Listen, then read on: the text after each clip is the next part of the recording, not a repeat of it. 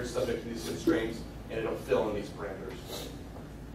Okay, so Lyapunov analysis is cool. It works for these things on the board. If I go to look, apply it to a perching airplane, even a pendulum, then the math gets really hard really fast. And in, in practice, people haven't used Lyapunov analysis enough for nonlinear dynamic robots because it's hard to conjure a Lyapunov function.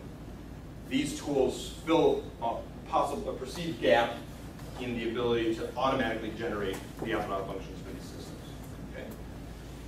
Um, just you know, so you understand that it's fast and good. Let me just run a quick example, right? So this is where the tools are basically to the point where um, I just type in now. I say, here's my dynamics. X dot equals negative x plus x cubed. Uh, what's the region of attraction for it?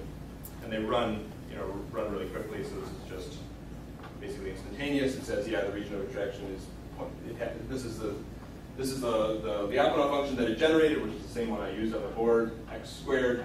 The, the rho is just a, a telling you it stops at 1.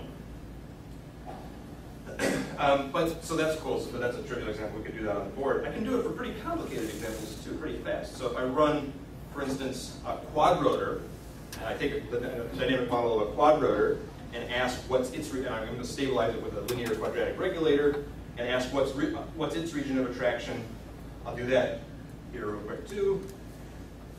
Most of the time it spends actually generating the plot, but this is the region of attraction of the quadrotor with saturation constraints, and it's just, a sense of the dynamics. It's going to just simulate the dynamics a few times. But that ellipse was a plane of the six-dimensional, it was just a cross-section of a six-dimensional construction, which was the level set of a Lyapunov function that up to that system very quickly. Okay? So I think they're good tools. I think they're, they're useful tools. Um, they work well.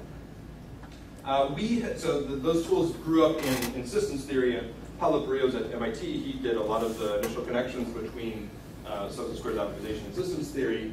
Uh, you know, we've come in and, and, made them work for robotics, basically. That's sort of my, what I feel like my role has been. So, uh, you know, we do we extend them, for instance, to work for uh, funnels around trajectories. I'll tell you that story graphically. We, we do them with higher order Lyapunov functions. We up to, up to quadratic or quartic.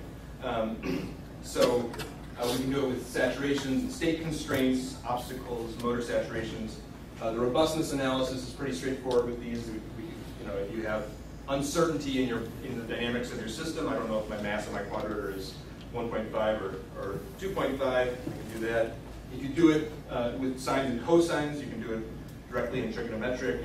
Um, I'm really proud of the ability, we can do it now for hybrid dynamics and for limit cycles.